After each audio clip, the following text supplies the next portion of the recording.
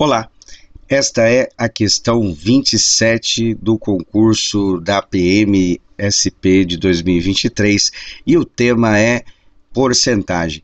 Antes de iniciar a resolução da questão, gostaria que você se inscrevesse no canal, caso não seja inscrito, e divulgasse o conteúdo de matemática e informática da PMSP que aconteceu no ano de 2023.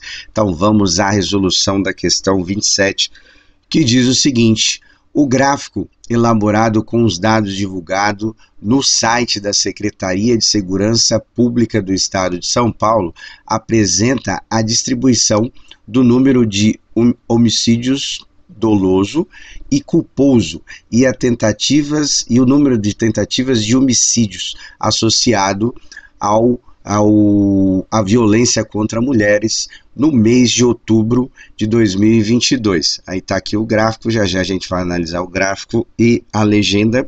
E aí, continuando a leitura, é, diz o seguinte: se adicionarmos o número de homicídios e tentativas de homicídios, é, tem-se o número de 92 casos.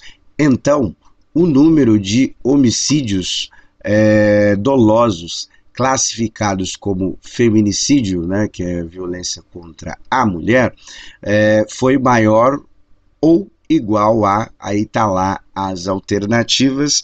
Então vamos voltar aqui o gráfico. O primeiro gráfico que foi apresentado aqui, que é o, o número de tentativas de homicídios e homicídios é, dolosos e culposos, é esse primeiro gráfico aqui, igual falou no texto, representa 92 casos né, no ano de 2022. E uma parte só desse gráfico, ou seja, os 40% aqui que está destacado, ele vai é, ser classificado como homicídio doloso, e aí não feminicídio, não é, que é uma violência que não é contra a mulher, e tem o homicídio doloso, que é o feminicídio, que é a parte é, cinza aqui do gráfico. Então, dentro desses 40%, tem essas duas classificações: 43% é, não feminicídio e 57% feminicídio. Como falou lá no texto, a gente vai usar esta informação aqui, que é os 57% dos casos representados por feminicídio que falou aqui no texto, tá? Então, bom, dito isso, vamos fazer os cálculos agora. Então, nós vamos ter que fazer o seguinte: nós vamos ter que calcular primeiro quantos casos foram homicídios dolosos aí, tá? Então, no, na representação do gráfico é 40% do, dos 92 casos. Então, vai ficar 40, é, 92 vezes 40 dividido por 100 certo? Simplificando aqui, nós vamos ter 92 é, vezes 4 e depois nós vamos dividir o resultado por 10. Então, 4 vezes 2 é igual a 8, 4 vezes 9 é igual a 36, então dá 368. E aí nós vamos dividir 368 por 10.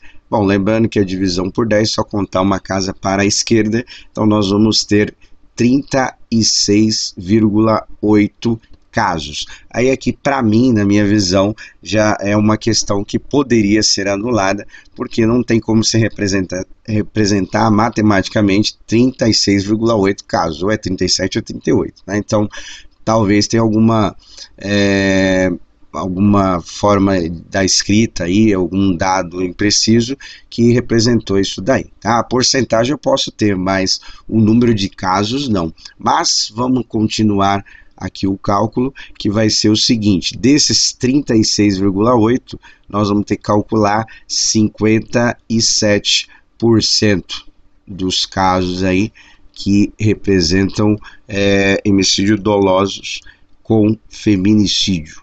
Tá? Então, vamos fazer o cálculo aqui de 57%.